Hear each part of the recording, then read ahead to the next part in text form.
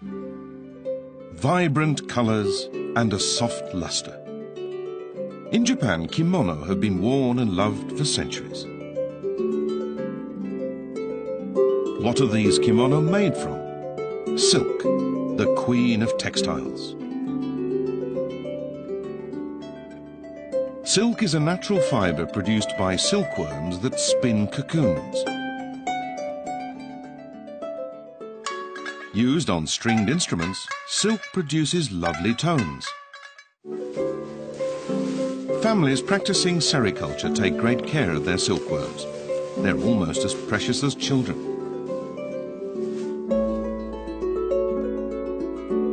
The filament obtained from the silkworm played a key role in Japan's modernization. Silk is a reminder of the hard work that contributed to Japan's growth. Now, thanks to state-of-the-art technology, silk is undergoing a transformation.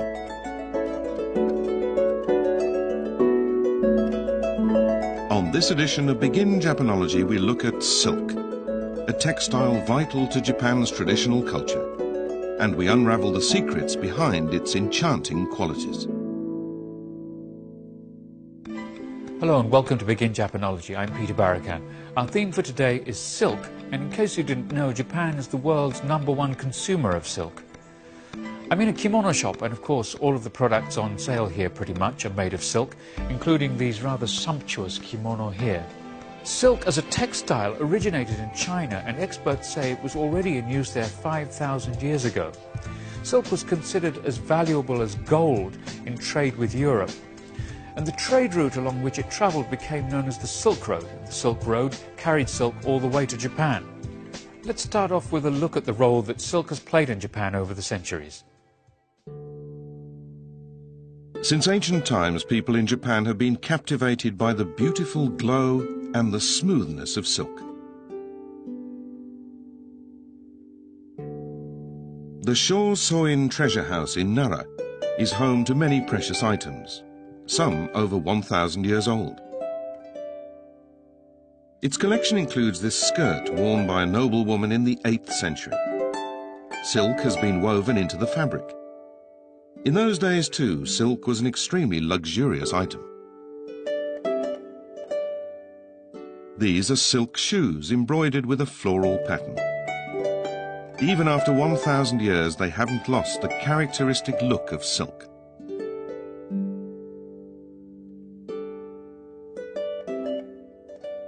Silk is a fibre secreted by the larvae of the silkworm moth. In Japan, this natural resource has been skillfully harnessed.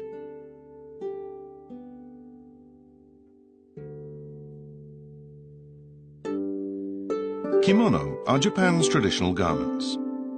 Silk kimono have always been luxury items, featuring dazzling colours and a kaleidoscopic variety of patterns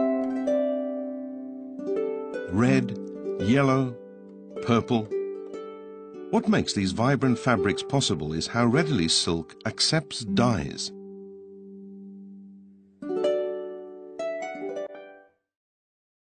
A kimono like this is made using a process called Yuzen resist dyeing. Yuzen is one of Japan's signature dyeing methods. Designs of seasonal plants and flowers, birds, and other natural motifs are drawn onto the fabric. This method of dyeing turns the fabric into a veritable painter's canvas.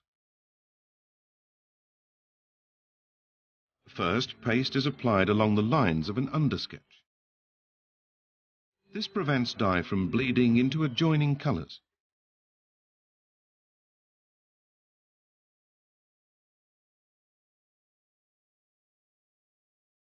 Then the colours are applied to the fabric. Not only does silk take dye well, it's compatible with most dyestuffs. This is what gives Yuzen dyeing its limitless range of expression.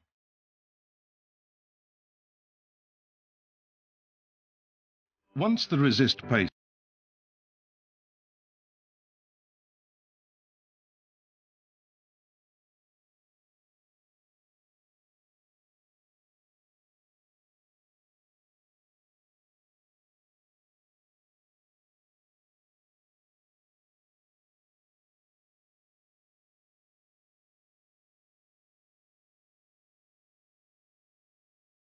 found in no other natural fiber.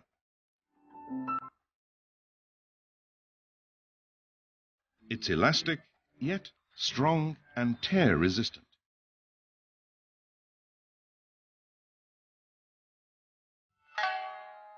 The shamisen is a traditional Japanese musical instrument. It uses silk strings. Strong, elastic silk gives the shamisen its distinctive sound.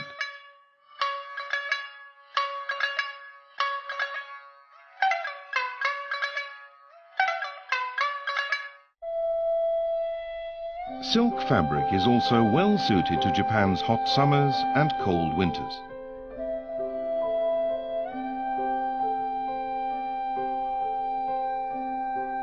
Silkworms spin out long filaments as they sway left and right.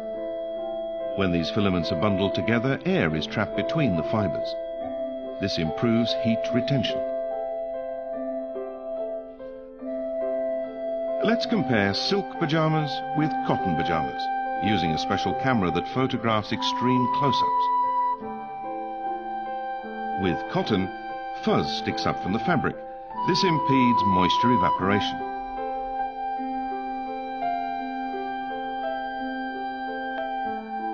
Contrast, because silk has no such fuzziness, it allows moisture to quickly evaporate. With its superb heat retention and moisture transfer properties, silk is cool to wear in summer, yet warm in winter. Notice how the dress ripples with a soft interplay of light and shadow as the wearer walks.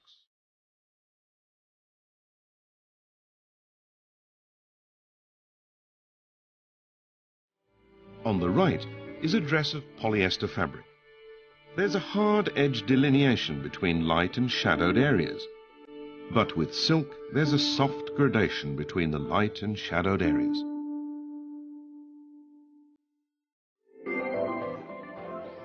Take a close look at a single silk fiber.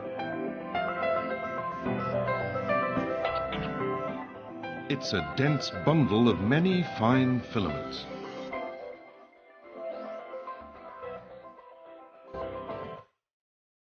These are structure models of silk and polyester. Let's see what happens when light hits them.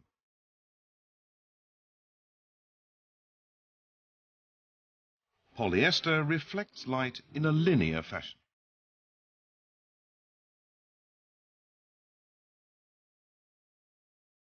But the silk seems to emit rays of light almost at random. Light is repeatedly refracted and scattered by the fibers, producing a soft visual effect. This luminous quality can only be found in silk.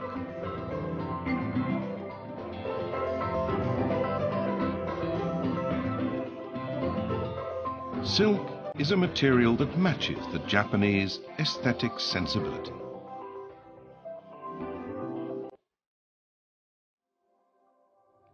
Japanese people have used silk in many different ways. In addition to the kimono themselves, you have these obi or sash that goes with the kimono. The straps on the sandals too, these are made from silk.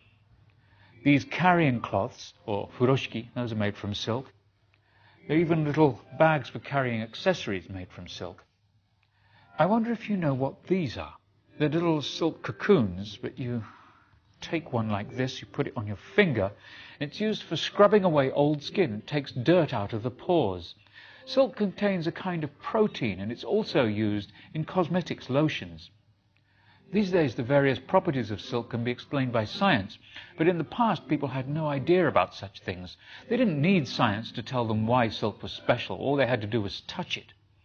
Silk, of course, is made from silkworms, and silkworms are an extremely important commodity to the farmers who raise them. Here in Gunma Prefecture in eastern Japan, sericulture has flourished for centuries. Mulberry bushes cover the slopes of the hills here.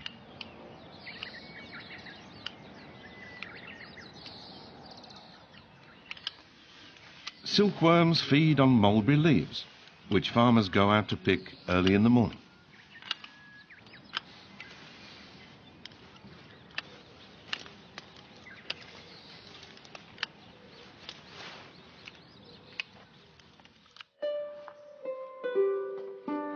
Raising silkworms takes place during the warmer months between spring and autumn.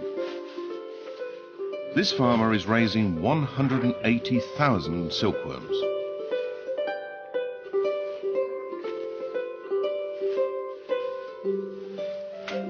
Silkworm farmers buy just hatched silkworms and spend about a month raising them.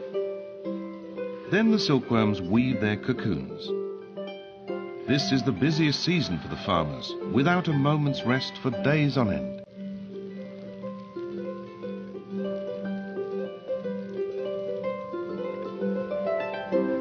Silkworms eat continuously, day and night. That means silkworm farmers have to attend to them all through the night too. And silkworms can only live in a certain range of temperatures. Tonight it'll be chilly until morning. So I've got to raise the temperature. Silkworms are sensitive to both heat and cold, so the interior temperature must be kept at between 20 and 25 degrees Celsius. We call them okosama, which means children. That's because they're as precious to us as our children. This stone monument honors a Japanese silkworm deity. People have long revered the silkworm as a precious source of income.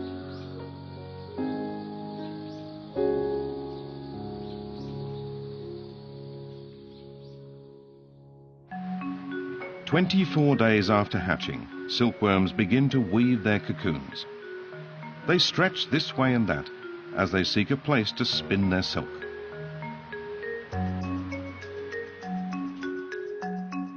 Once they start moving their heads in such a manner, the silkworms are moved to the second floor. Rotating frames are used for cocoon making. Each square in the grid-like structure provides an ideal niche for a silkworm. This neat separation is a key factor in producing high-quality cocoons. The silkworm starts spinning filaments.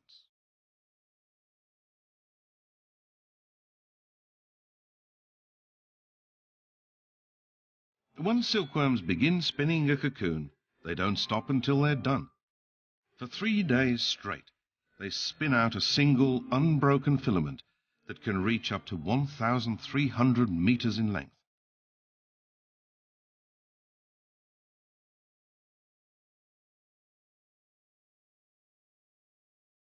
Now the round cocoons are complete. About a month has passed since the larvae were brought here.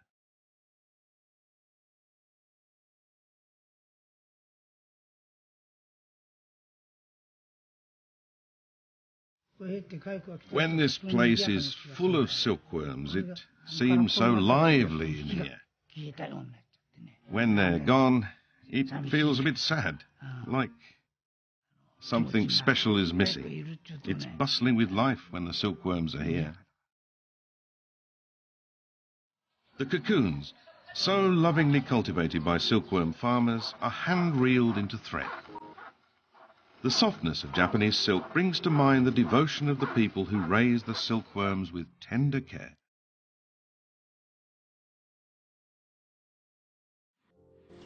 I'm visiting a spinning mill in Yamagata Prefecture in the north of Japan, and here the cocoons that have been so painstakingly cultivated by the silkworm farmers begin a new existence as silk thread.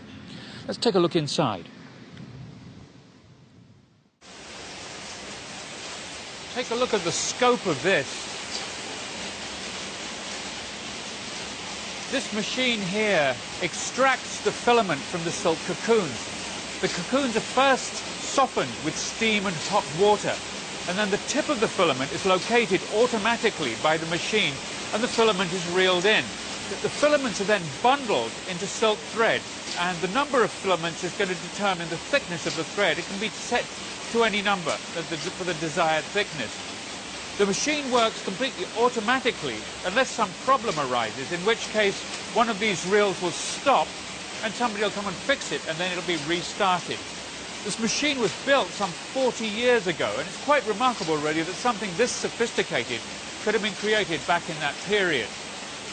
The silk industry over the years has contributed greatly to Japan's economic prowess.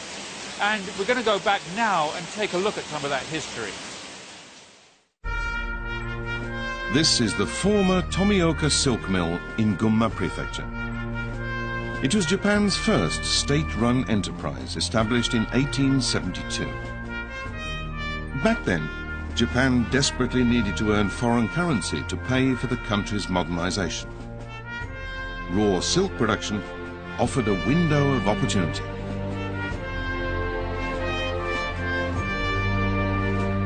The cost of construction was equivalent to 3 billion yen in today's money.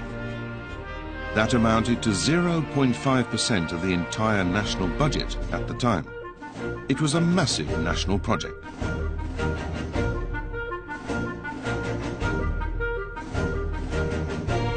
The factory was outfitted with the latest machinery imported from France. It was the most advanced silk mill in the world. The government put its prestige on the line for this mill. But in the early years, its output was disappointingly low.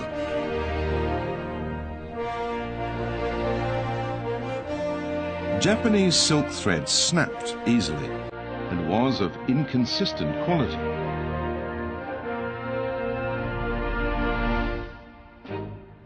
Then along came one man who changed all that. Silkworm expert Kametaro Toyama.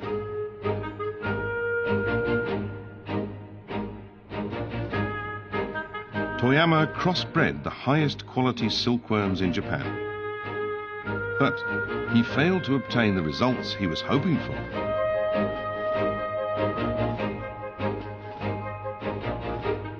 Following years of frustration, Toyama set out for Thailand. There he found a Thai variety of silkworm that was disease resistant. He crossbred this with Japanese varieties. And the result was a large, strong cocoon.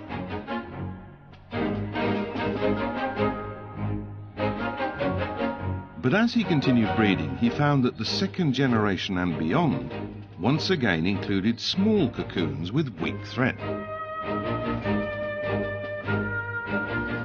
He discovered that the exceptional properties of crossbreeds were limited to the first generation. The fruit of Toyama's labours was a strong thread that was more than 25% longer than Japan's raw silk filaments.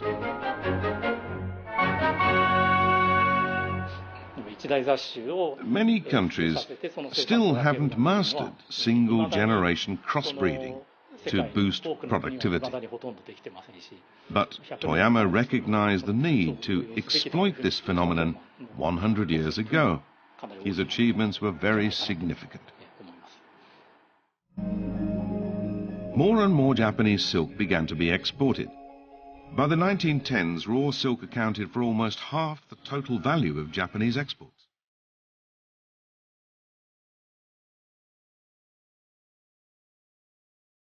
There were many others who helped to make Japanese silk a global brand.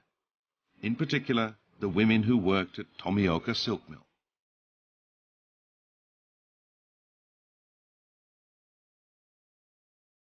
Tomioka Silk Mill employed more than 500 young women, an elite force selected from many applicants.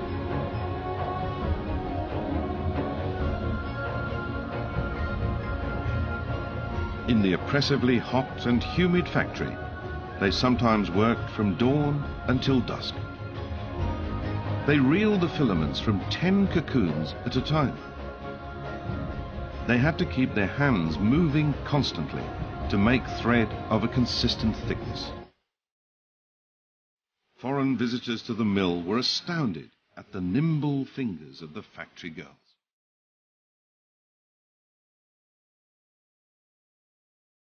The raw silk reeled by these women earned foreign currency that was invested to build Japan's national strength.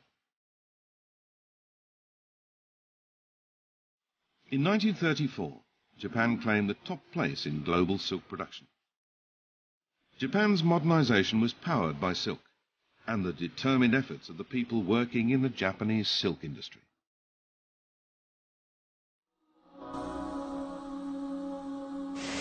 The silk industry played a vital part in Japan's economic development, but after World War II things began to change. With the liberalization of trade in 1961, Japan began to import cheap raw silk from abroad, and at the same time synthetic fibers also became more widely used. As a result, Japan's production of raw silk fell to only about a one-thousandth of what it was in its heyday. In 1934, when the industry was at its zenith, there were 236 silk mills in Japan. Today, only two remain, and this is one of them. The industry is in steep decline, but even now, people are involved in some interesting new initiatives. The sparkling sea of Okinawa Prefecture in southwest Japan. This is the home of a woman who wants to make the ultimate silk fabric. Her name is Michiko Uehara and she's a weaver. She's aiming to weave a fabric using unbundled single filament threads spun by silkworms.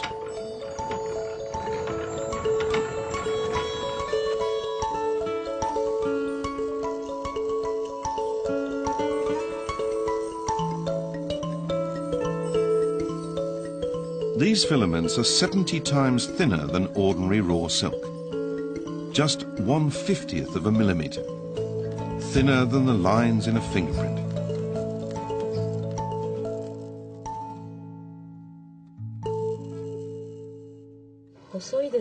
It's very, very thin, but I can feel it really clearly in my fingers. Every strand is a thread of life. That's how I feel about it and why I think it's so special. There are 1,440 threads in the warp. Each one of them must be threaded through tiny holes and secured. Uehara has been weaving for more than 30 years, but she's never undertaken a task like this before.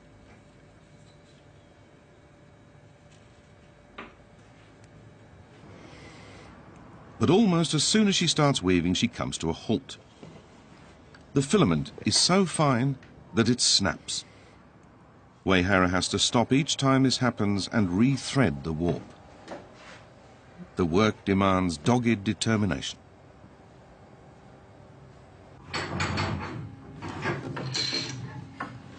It's been nine days since she started. Finally, the textile is taking shape.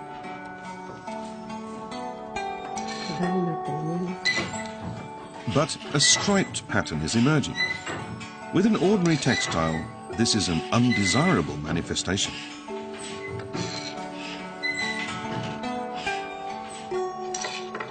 We're dealing with living things. So, irregularity is natural. We tend to expect things to be absolutely uniform but in a sense being uniform is not a natural phenomenon. Two months after she started, her project is finally completed. A fabric woven from strands just one-fiftieth of a millimetre thick. Uehara says it reminds her of the surface of the ocean, glimmering at sunset. The thinnest silk fabric in the world shimmers in the warm light of Okinawa.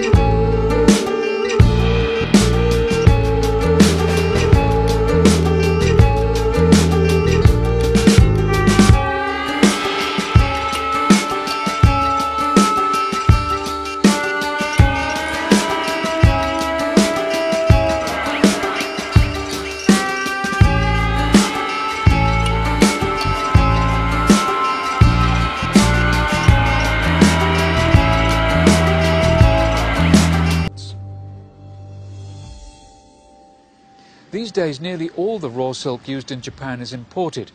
Not only that, but silk textiles and even kimono are sometimes made overseas and then finished products imported into Japan. Understandably, great expectations are being put on the new initiatives taking place.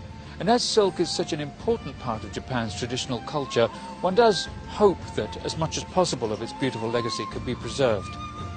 I'll see you again next time.